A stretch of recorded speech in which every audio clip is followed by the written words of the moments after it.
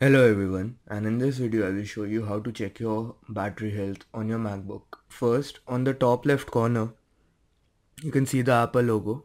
Click on it and then click on about this Mac. Now click on system report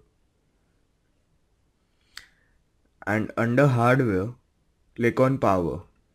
Here you will find all the information uh, related to your battery and you will find your battery health right here. So as you can see under health information uh, it shows the battery condition as normal.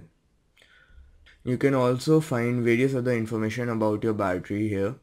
So for example you can uh, check the full charge capacity of your battery or the state of charge uh, uh of your battery. Uh, you can also check the cycle count uh, or how many times you have charged your macbook right here etc etc so that is how you check your battery health on your MacBook. Thank you.